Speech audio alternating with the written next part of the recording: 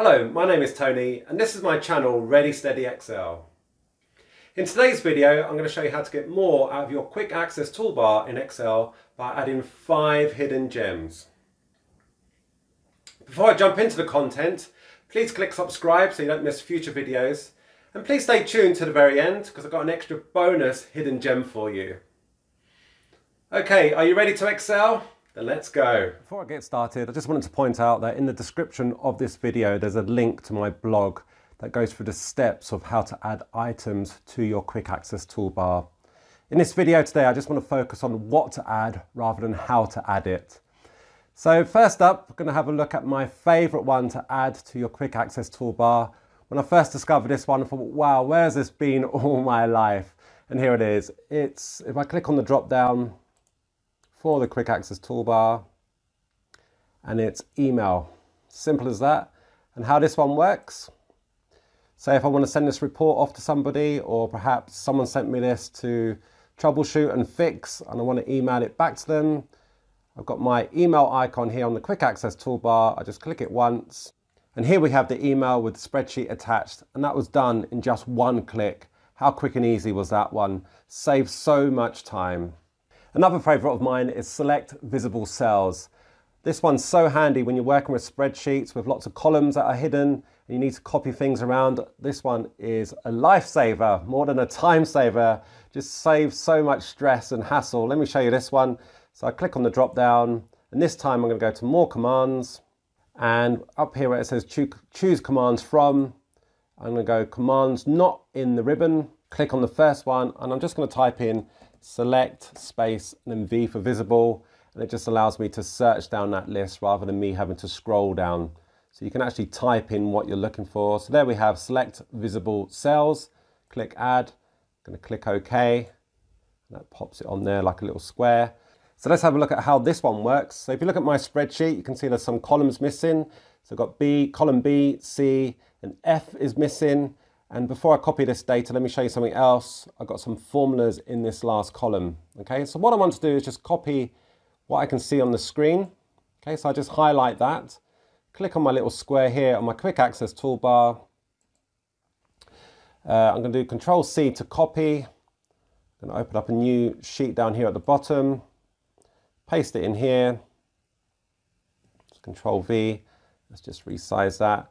And what that's done, that's just copied over the visible columns that I had selected, just the visible ones. And if I click where it says cost plus VAT, you can see it hasn't copied over the formula. So that just stops things from going wrong.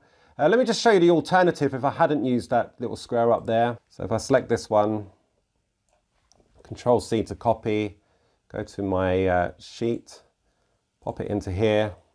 So if I paste it in without using the the option there on the quick access toolbar, it pastes in all of the columns. And this can be very frustrating when you're working on a big spreadsheet and there's loads of columns hidden.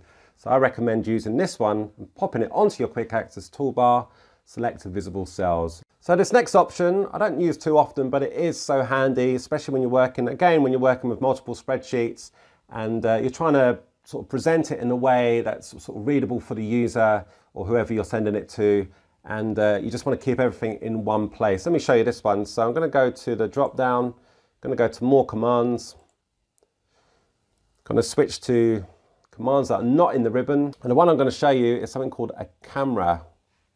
So I'm typing in camera down there at the bottom, click add, click OK. So how this one works, if I select this range, I'm going to click on the camera, Okay, and I'm going to go to another sheet down here at the bottom called dashboard. Got some examples here already, and I'm just going to click. I don't need to draw it in. I can if I want to, but I'm just going to click, and it will just put in the selection. And what it does, it does it as an image, so this can go anywhere. So you're not restricted by the column sizes or anything like that. Uh, you can even resize it if you needed to. So if you need it to be bigger, then you can do that. Now the great thing about this camera icon is how it updates. Okay, so it's not just a, a, screenshot. So what you have here, let's have a look. Let me give you an example. So where it says Lucius Fox, taxi, got the date and the cost here. What I'm going to do is go to expenses. I'm going to change this one to say 30, press enter. Let's go back to the dashboard now. and it's updated it here as well. So as you can see, it's a really, really useful function. Just saves a lot of time with formatting. And uh, like I said, you don't have to adjust rows or columns to get different tables uh, and spreadsheets to fit in. So just use that camera option. Okay, so for my next one, let's go to the drop down. Let's click on more commands. I'm gonna switch this one again to commands not on the ribbon. And this next one's called Speak Cells. You're gonna love this one. The geek in me loves this one anyway.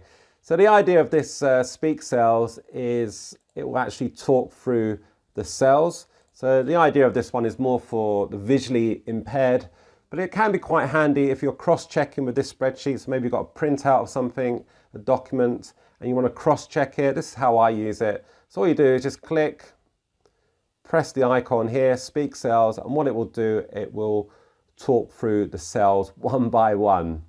So I'm going to be quiet for a second so you can hear this. Lucius Fox.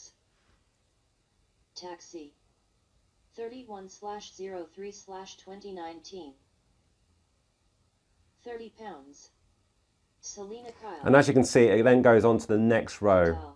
So how amazing is that? Such a great little icon there, such a great option, and that's Speak Cells. I don't use this next option very often, but people I've shown it to. People that do a lot of data entry love it, absolutely love this one. So let me show you it. So if I click on the drop down, more commands, you get the drill now. I'm gonna change this to commands not in the ribbon. Click on the first one, type in form. Let me show you how this one works click OK. So there's my form icon up here. So how this one works, and it's great for that data entry. It basically turns your spreadsheet into like a, a little mini sort of database here. So it's gone to the first entry. Um, you can use things like if you want to do a search, so if I click criteria, I want to find the expense type for taxi. Click find next. It will find the next record with taxi and I just click down and it will go to the next one. Where it's really useful is if I click on new, I can then type in my entry. And when I click new, that will add it to the spreadsheet in the background there. And let me just show you that. If I close on this one, go down to the bottom, and there is, there's my details. So there we have five amazing options to add to your quick access toolbar, but don't run away just yet. I've got that hidden gem to show you that not even advanced users know about. Let me show you. So we've got our calculator here, the standard old calculator, which I normally have saved or pinned to my taskbar. And it's not just a calculator. If I click down here for more options, further down, you've got converters. So you no longer need to go onto Google to find a converter. So for example, let's go to weight and mass. I've got pounds to kilograms. I'm going to change this to kilos. Change the second one to stone. Put in the weight. And it will convert it to, to stone. So that's just over 14 and a half stone. It also tells you what it is in proportion of tons and how many elephants that would be. So 0.02 elephant. Elephants is what 92 kilos is. So that's my hidden gem. How amazing is that one? So that's part of your calculator. So you've just got it here at your fingertips and I recommend pinning this to your taskbar. This brings me to the end of this video. I hope you enjoyed it. To see more videos like this, then please click subscribe.